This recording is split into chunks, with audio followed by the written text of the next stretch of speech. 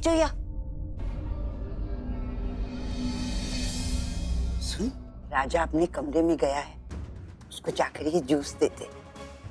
कल रात हम ही ने मना किया था और अब हम ही कह रहे हैं। राजा का गुस्सा भी ठंडा हो गया होगा। उसको ये जूस दे दे उससे जाकर बात कर लेना और अपनी टूटी हुई दोस्ती को जोड़ लेना।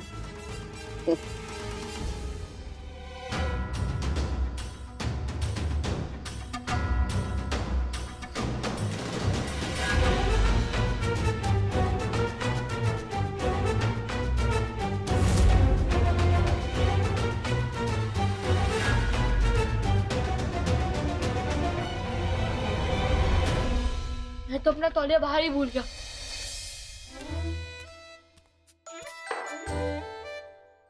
रुकेगा क्या? समझ में नहीं आ रहा है। राजा बाजा को अभी नाने जाना था। कोई है? जरा मुझे अपना तौलिया दे दो।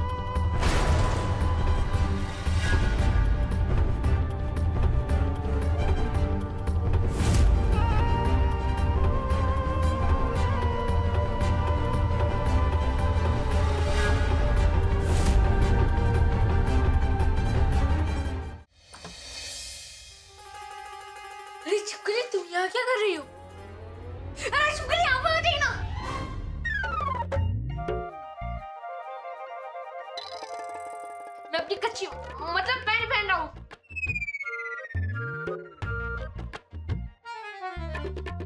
तुम यहाँ आई क्यों?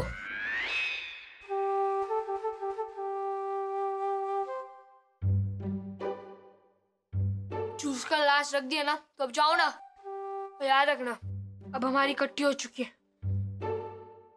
तो मेरे लिए कुछ भी करने की कोई ज़रूरत नहीं है।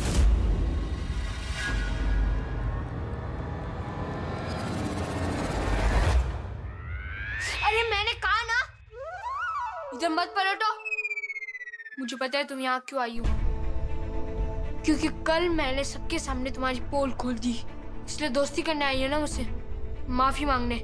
पर चाहे मेरी जबानी कार हो, बड़ी वाली गुल्लक हो, और तुम्हारी दोस्ती, जो चीज़ एक बार टूट जाती है, कभी जुड़ती नहीं है।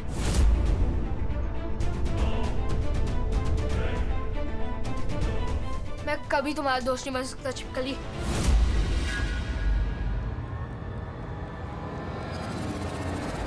अच्छा है तुम जा रही हो। अरे मैं तो कहता हूँ कल की जाती आज जाओ। और जब तुम जाओगी ना तो मैं लड्डू बंटवाऊँगा और तुम्हारे दोस्त जीवन को भी खिलाऊँगा।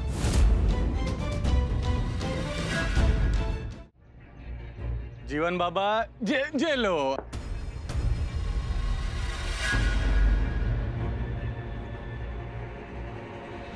क्या दुर्जन इतनी भी क्या तेज गेंद डालते हो। जरा धीरे मारो हम चौका तक नहीं मार पा रहे। जे बात है। अब देखो। चौका मारो। अरे खड़े क्या हो जाओ जाओ बॉल लाओ। वाह क्या खेलते हैं हम। एकदम विजय हजारे हैं हम। दुर्जन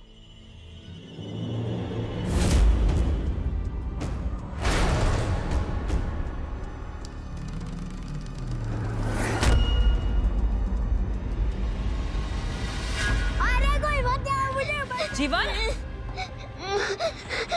ये मेरा बच्चा क्या हो गया तुझे?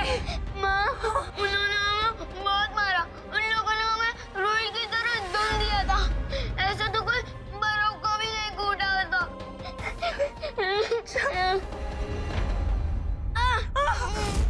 माँ उन लोगों ने मेरा हाथ भी तोड़ दिया शायद। किसने क्या बोला? पता नहीं।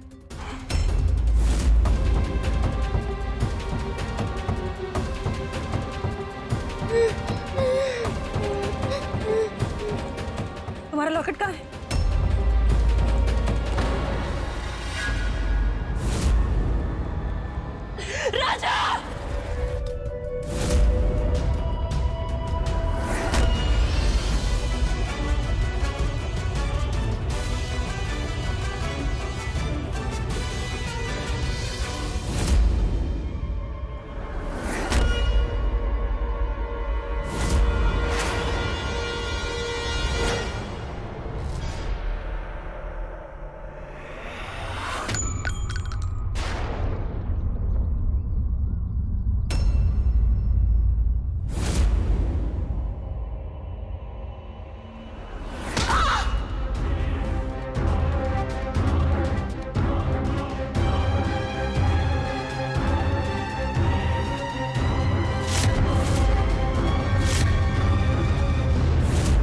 कैसे हो लाखन महाराज आपको हमेशा हमारी बातें मज़ाक लगती थी ना? लेकिन आज देख लिया आपने? हमारे बच्चे का सर फूट सकता था। उसकी जान जा सकती थी आज। इतना सब कुछ करने के बावजूद इसके चेहरे पर एक शिकन तक नहीं है। माफ़ी मांगना तो दूर की बात है। उल्टा हमारे बेटे पर इल्ज़ाम डाल रहा है कि ये झूठा है। मैंने सच में जीवन को छुआ भी नहीं। मुझे नहीं पता किसने इसकी पिटाई की है पर मैंने इसे नहीं मारा है। राजा अभी इसी वक्त जीवन से माफ़ी मांगो। जब मैंने कुछ किया ही नहीं तो क्यों माफ़ी मांगू? मैंने कुछ पूछा आपसे। स्वर्णा कहा है? किया क्या आपने उसको? स्वर्णा हमारी बेटी जैसी है। तो आप हमारे दामाद हुए? इतने बरसों बाद अपने जमाई राजा के दर्शन हुए हैं। आरती तो उतारने दीजिए। उसके बाद जो हम चाहते हैं वो आपने नहीं किया तो गर्दन भी उतार देंगे। आपने शायद सुना नहीं मैंने कुछ पूछा आपसे। स्वर्णा कहाँ है? एक नौकरानी भला हमारे बेटे को क्यों मारेगी हाँ राजा? उसको जीवन से क्या मतलब है? जीवन के असली दुश्मन तो तुम हो। कल भी तुमने इस पर हाथ उठाया था और आज उसका हाथ ही तोड़ दिया। तुम ऐसे नहीं मानोगे। मैं तुम्हें अच्छे से सबक सिखाऊँगी।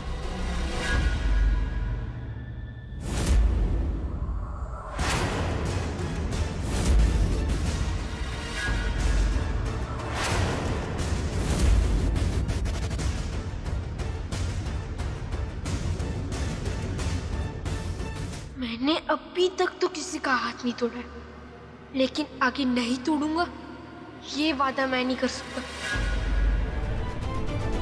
ले जाओ इस निकम्मे को, और जितना देखना है इसे जी भर के देख लो, क्योंकि आज के बाद तुम उसे कभी नहीं देख पाओगी। आज इस महल में इसका आखिरी दिन है।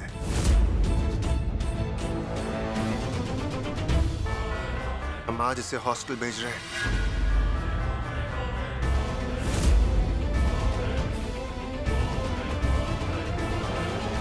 ऐसा मत करिए। मेरा एक ही बेटा है। उसे मुझसे मत छीनिए। इसे अपने पल्लू से बाँध कर रखने का नतीजा देखकर भी तुम्हें समझ में नहीं आया। हम जो कर रहे हैं इसकी भलाई के लिए कर रहे हैं। ले जाओ इसे और उसके जाने की तैयारी करो। लालची छिपकली तूने मुझे धोखा दिया। फिर भी मैंने तुझे अपना पक्का वाला फ्रेंड माना था। लेकिन तू, मैं तुझसे नफरत करता हूँ छिपकली नफरत। ले जाओ इसे।